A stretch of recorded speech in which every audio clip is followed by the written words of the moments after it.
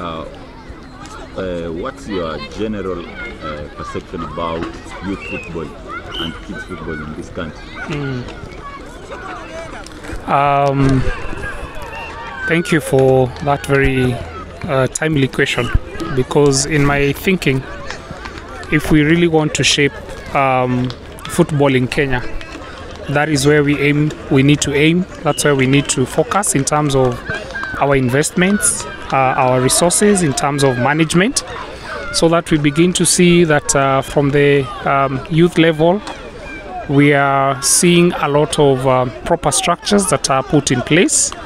And this is the only way to sustain and ensure that um, uh, the senior team always has a pool to, to, to draw from.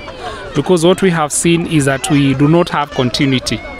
We do not have um, sustainability, even in football. So at one point, you have a very good senior team, and then uh, because we are not taking time to nurture um, you know the, the, the, the upcoming talents uh, when, when, when the senior team are now at their prime then we do not have um, uh, young people that have worked with these seniors that can easily gel and then now that way we have continuity in terms of uh, football prowess in Kenya.